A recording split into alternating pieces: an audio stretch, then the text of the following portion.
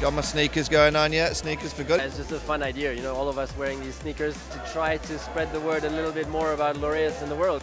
We believe in sport to transform and to make changes in the world. And of course, you know, hashtag sneakers for good.